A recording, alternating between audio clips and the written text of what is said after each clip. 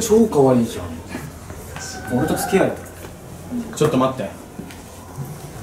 俺もお前のこと好き。俺と付き合ってほしい。